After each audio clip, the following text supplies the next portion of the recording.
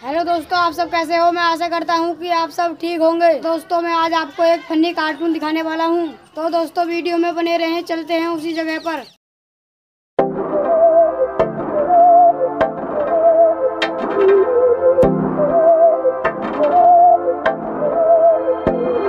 तो दोस्तों, मैं अपने खेत पर आ गया हूँ और आपको कार्टून दिखाने वाला हूँ। तो दोस्तों, ये है वो कार्टून जो मैं आपको दिखाने वाला था।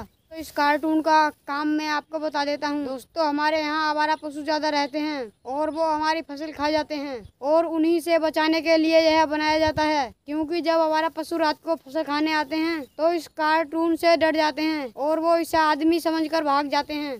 तो दोस्तों, कैसा लगा आपको कार्टून? कमेंट बॉक्स में ज़रूर बताएँ। दोस्तों, आज के लिए इतना ही। मिलते हैं नेक्स्ट ब्लॉग में। तब तक के लिए बाय।